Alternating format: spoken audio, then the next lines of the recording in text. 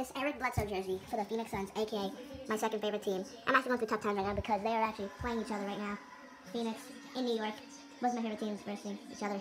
Um, but that's not the point. I ordered this jersey on Wednesday. I put two day shipping on it. It was supposed to come yesterday, and it hasn't came yet. It, but it, and it, I checked the email, and it's supposed to come via FedEx. Um, and FedEx truck came by today, but it didn't stop at the house. I was thinking it could have put it in another mailbox, but I highly doubt that ed. I mean, it is FedEx, but like, and it didn't come today either. It, but there's still time. It's only 8:15. But I mean, this is actually kind of triggering. I'll show you guys a picture um, of the order confirmation, not order confirmation, like where it says when it when it shipped. Um, two day shipping is what I got on it, and it just hasn't come yet. So this, I swear to God, if I get scammed by the NBA store, I'll actually be so triggered.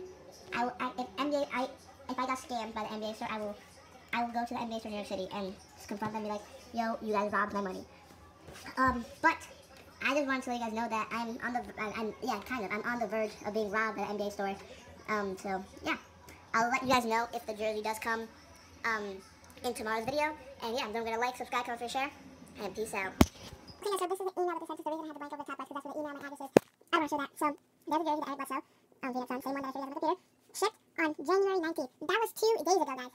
That was on Thursday. It was, it was FedEx two-day air tracking. That's the tracking number.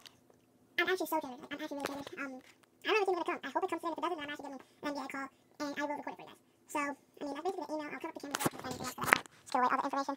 Um, this is the address. Okay, it says, start waiting by your door.